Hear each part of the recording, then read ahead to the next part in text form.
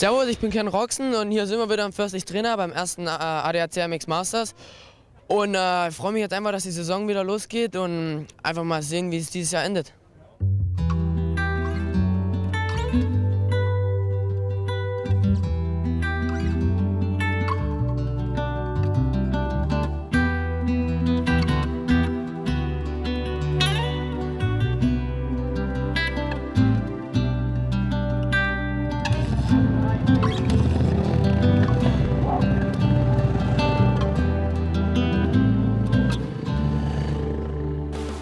Wir sind wieder da! Wie bereits in den letzten Jahren fand der Saisonauftakt der ADAC MX Masters im brandenburgischen Fürstlich Drehna statt. Bestes Motocross-Wetter und eine wie immer perfekt präparierte Strecke versprachen beste Unterhaltung für den 16. und 17. April auf der Sandstrecke rund um den Mühlberg. Dieses Jahr fanden sich viele neue Namen unter den Startern. Einige der deutschen Top-Piloten werden nur noch als Gaststars bei den ADAC MX Masters auftauchen. Einerseits schade, auf der anderen Seite wird damit umso eindrucksvoller die Bedeutung der ADAC MX Masters für die Entwicklung der deutschen Motocross-Szene gezeigt. Die hier bekannt gewordenen Piloten fahren mittlerweile sehr erfolgreich in der WM oder in anderen internationalen Serien. Pünktlich um 13 Uhr am Samstagnachmittag begann das Qualifying. Dieses Mal mit den Fahrern der mittleren Klasse, dem ADAC MX Youngster Cup. In Gruppe 1 zeigte der Däne Stefan Kehr Olsen auf seiner Yamaha eine überragende Form. Mit knapp zwei Sekunden Vorsprung vor Ron Nofts legte er die Latte auf Anhieb ordentlich hoch. In der zweiten Gruppe belegte der Niederländer Donny Bastemeyer auf seiner Honda die Spitzenposition vor dem Slowenen Tim Geiser.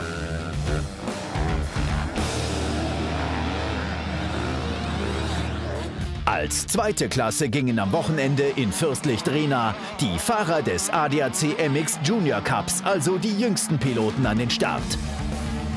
In Gruppe 1 konnte sich der junge Niederländer Freek van der Vlist auf Suzuki vor dem Belgier Yannick Heilen auf KTM behaupten.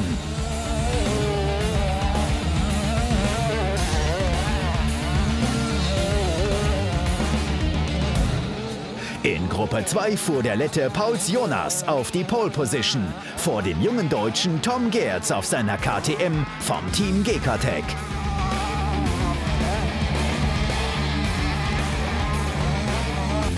Im Qualifikationstraining der Masters-Klasse konnten sich die bekannten und beliebten deutschen Campen behaupten.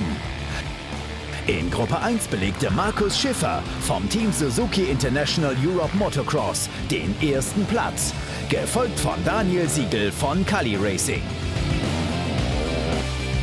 Hallo, ich bin Markus Schiffer, fahre für das Suzuki International Europe Motocross Team sind äh, heute hier in Drehna. Ich hatte heute eine sehr gute Quali-Zeit gehabt, war in meiner Gruppe Erster. Ähm, Startaufstellung bin ich Zweiter hinter Ken Roxen. Ja, und äh, fahre dieses Jahr die komplette Serie der MX Masters. Ähm, Ziel ist auf jeden Fall, den Titel anzustreben. Und äh, für morgen ist auf jeden Fall das Podium im Visier. In Gruppe 2 dominierte deutlich Ken Roxen vom Team Red Bull TK KTM Factory Team, gefolgt vom Schweden Philipp Touresson und Cedric Subria.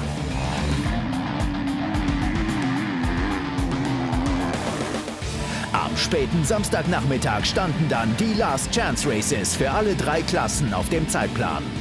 In der Klasse 2, dem ADAC MX Youngsters Cup, bedeutete das Last Chance Rennen für weitere sechs Piloten das heiß begehrte Ticket für die Wettkämpfe am Sonntag. Dominik Pascal Thüry vom MX-Team KTM Sturm gewann das Rennen nach 15 Minuten und zwei Runden souverän vor dem Dänen Matthias Jürgensen und dem Deutschen Hannes Richter.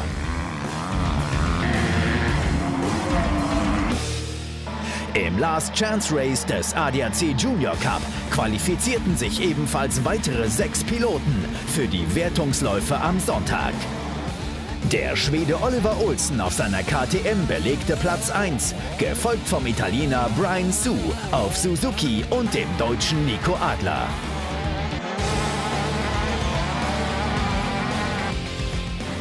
Das Reglement der ADAC MX Masters sieht vor, dass hier im Last Chance Race zehn weitere Piloten qualifiziert werden.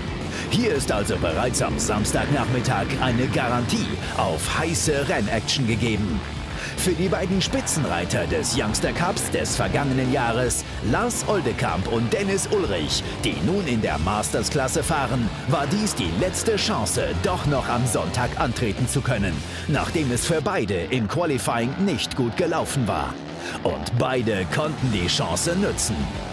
Nach einem spannenden, knapp 26-minütigen Rennen konnte sich Dennis Ulrich vom Team Honda Waldmann auf Platz 1 behaupten. Dicht gefolgt von Davis Ivanovs und Lars Oldekamp, beide auf KTM.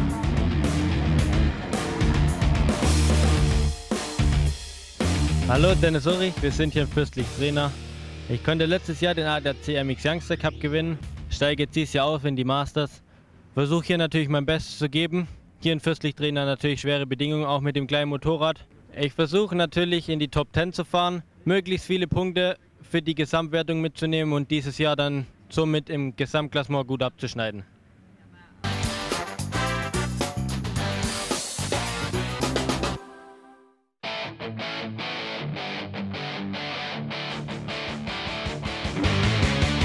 Um 11.30 Uhr am Sonntag ging das Fahrerfeld des ADAC MX Junior Cup zum ersten Lauf in dieser Saison an den Start. Die Piloten im Alter zwischen 10 und 15 Jahren auf ihren Motocross-Maschinen der 85er-Klasse ließen es sofort krachen. Das Startgatter fiel und der junge Niederländer Jordi van Nobelen konnte sich an die Spitze des Feldes setzen. Doch die Verfolger waren ihm hart auf den Fersen. Bas Vessen, Pauls Jonas, Freek van der Vlist, Kuhn Chauenberg. Alle fuhren in einem dichten Pulk.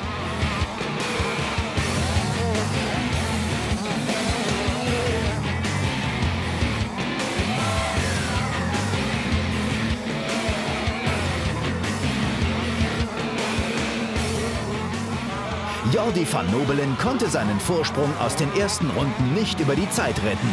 Nach einigen Runden und packenden Fights ging der Niederländer Bas Vessen und der Lette Pauls Jonas an ihm vorbei.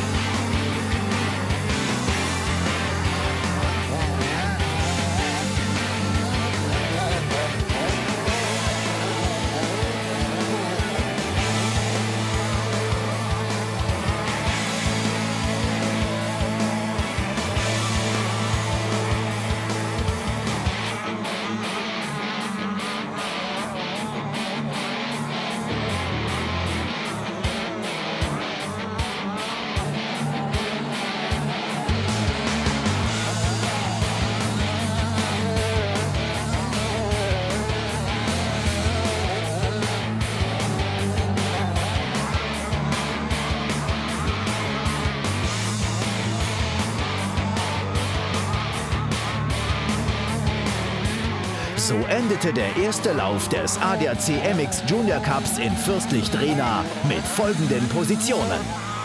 Platz 1 ging an den Niederländer Bas Vessen, gefolgt vom Letten Pauls Jonas. Der dritte Rang wurde von dem Niederländer Jordi van Nobelen belegt, der ebenso wie seine beiden Kollegen auf dem Podest KTM fuhr. Auf Platz 4 positionierte sich der Niederländer Freek van der Vlist und auf 5 lag der Ester Karel Kutzer, beide auf Suzuki.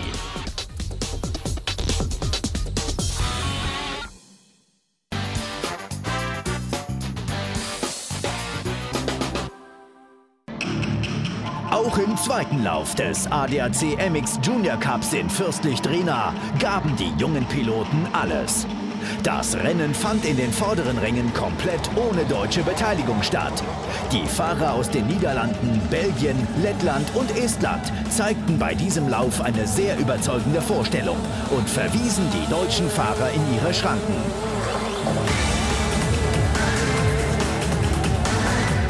Den Holeshot holte sich der Lette Pauls Jonas, der diesen Platz souverän verteidigte und einen ungefährdeten Start-Zielsieg einfahren konnte.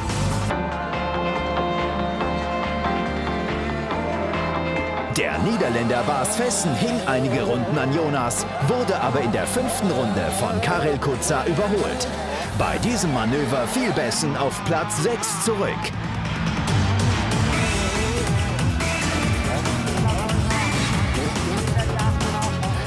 Van der Vlist lieferte ein überzeugendes Rennen. Nach der ersten Runde auf Platz 13 arbeitete er sich kontinuierlich nach oben und konnte sich den dritten Platz auf dem Siegertreppchen sichern.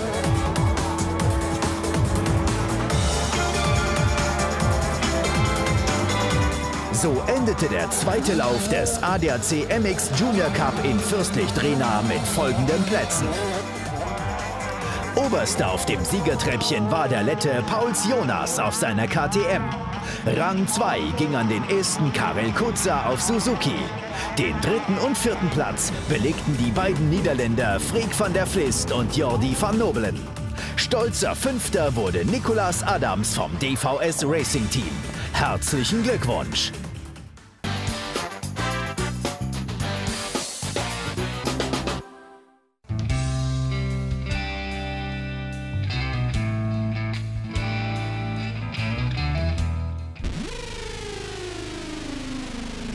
Um 13 Uhr begann dann bei angenehm warmem Wetter der erste Lauf des ADAC Youngster Cup in dieser Saison.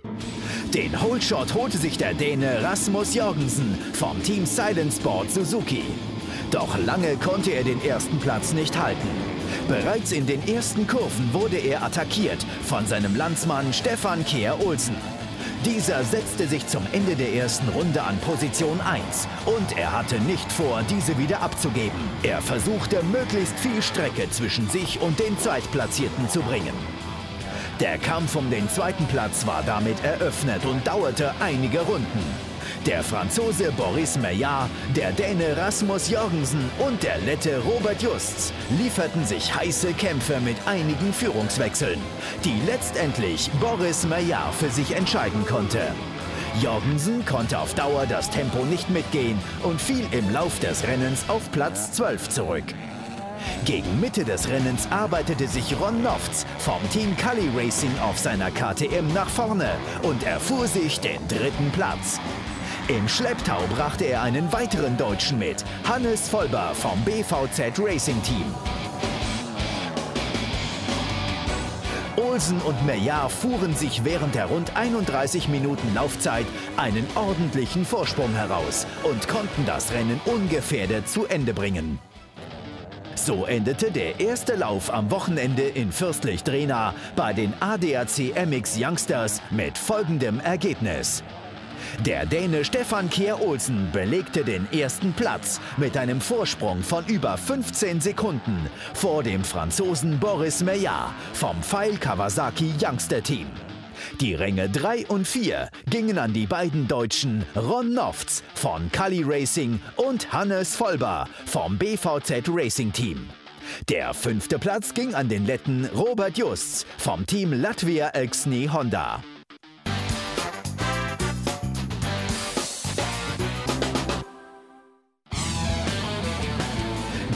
Zweite Rennen im ADAC Youngsters Cup begann mit einem Holeshot des Franzosen Jeremy Chavot. Dieser konnte jedoch seinen guten Start nicht umsetzen und fiel bereits in der ersten Runde einige Plätze zurück. Für einige Runden übernahm der Niederländer Brian Bogers die Führung. In der fünften Runde musste er diese jedoch an den Sieger des ersten Laufes, Stefan Kehr-Olsen, abgeben.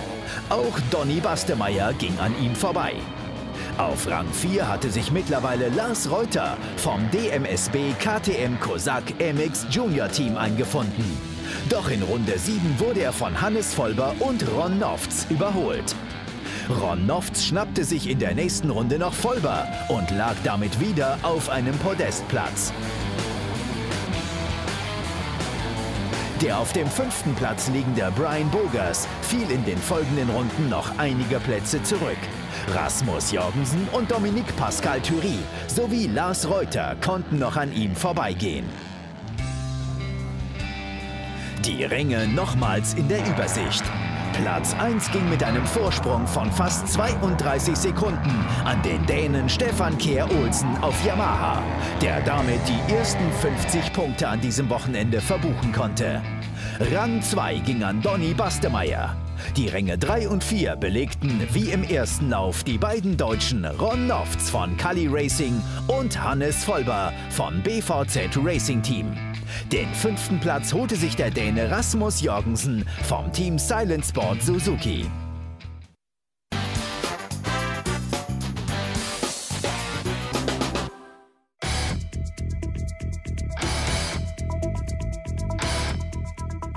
Der erste Lauf zu den ADAC MX Masters stand an. Die Sonne kam heraus und die rund 13.000 Fans rund um die Strecke waren bester Laune.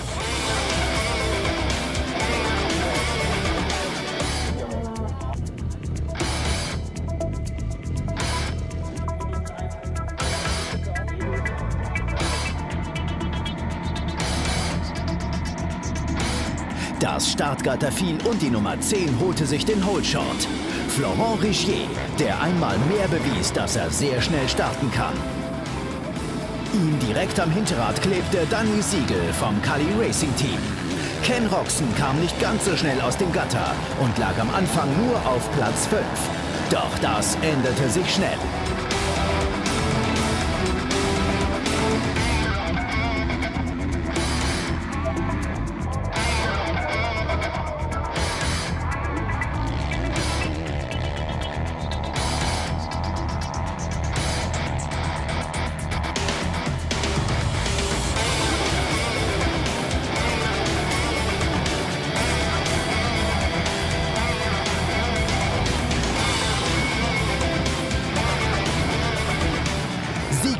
Zügig an Rigier vorbei und belegte kurzfristig den ersten Rang. Doch Roxen kam sehr schnell heran und übernahm die Führung, die er sich dann auch nicht mehr nehmen ließ. Runde für Runde war er zwei bis drei Sekunden schneller als das Verfolgerfeld. So setzt er sich im Lauf der 30 Minuten gehörig von den anderen Piloten ab. Die Spitzenpositionen waren bereits nach der Hälfte des Rennens geklärt. Roxen, Siegel, dahinter der Däne Kaspar Lyngard und der Belgier Kevin Woutz, die sich einige Scharmützel um den dritten Rang lieferten. Und auf Platz 5 fand sich ein alter Bekannter wieder, der Ungar Cornel Nemeth, der nach seinem Ausflug nach Kanada dieses Jahr wieder die komplette Meisterschaft in Deutschland mitfährt. Markus Schiffer, der dieses Jahr mit großen Ansprüchen in die Saison startet, wurde beim Start in einen Crash verwickelt. So musste er sich während des Rennens aus dem hinteren Mittelfeld nach vorne kämpfen. Das tat er mit Bravour. Bereits zur Hälfte des Rennens lag Schiffer auf Position 10. Nach elf Runden hatte er sich Position 7 erkämpft und am Schluss landete er auf dem fünften Platz, noch vor Cornel Nemeth.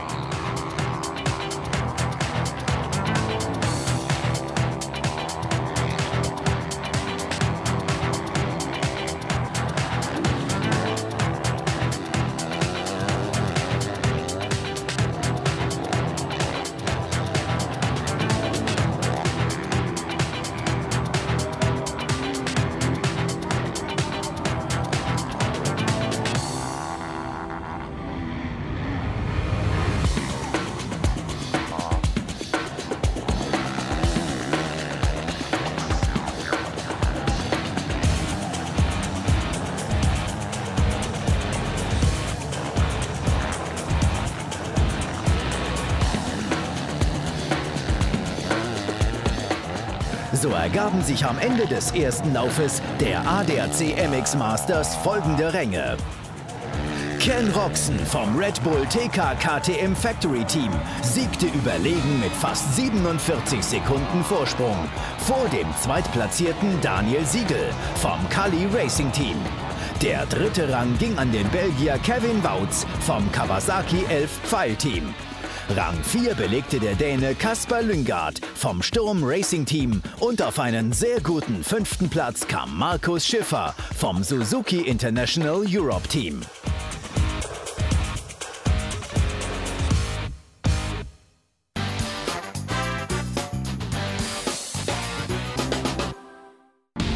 Das zweite Rennen in den ADAC MX Masters war ein würdiger Abschluss für ein gelungenes Rennwochenende. Daniel Siegel vom Team Kali Racing erwischte den besten Start und setzte sich an die Spitze des Feldes.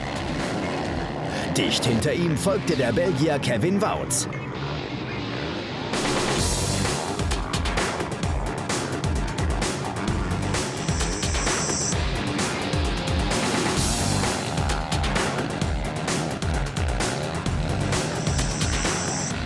Ken Roxen hatte einen schlechten Start. Im Getümmel konnte er seine Geschwindigkeit nicht ausfahren. Doch das tat er im weiteren Rennen. Jede Runde knackte er einige Fahrer und lag nach Runde 5 bereits auf Platz 3. Seine Rundenzeiten waren wieder Runde drei Sekunden schneller als die der anderen Piloten. So war es nur eine Frage der Zeit, bis Roxen Platz 1 erobern konnte.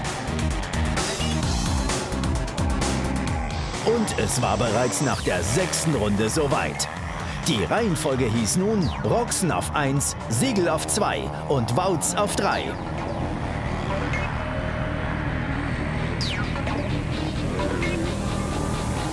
Dennis Baudrechsel vom Cofane Racing Team konnte sich die ersten Runden auf Platz 5 halten. In Runde 7 und 8 musste er jedoch federn lassen und fiel langsam zurück. Markus Schiffer, der wieder keinen guten Start hatte, kämpfte sich langsam nach vorne und eroberte den fünften Platz, gefolgt von Cedric Soubriat und Kasper Lüngard.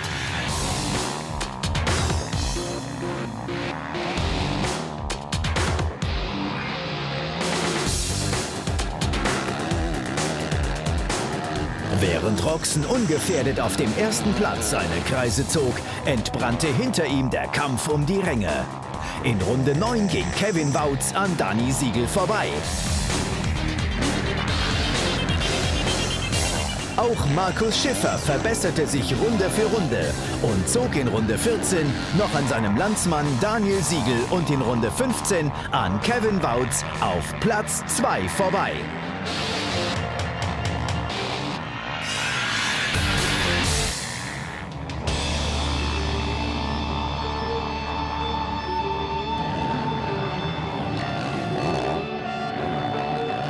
So endete der zweite Lauf der ADAC MX Masters mit folgendem Ergebnis.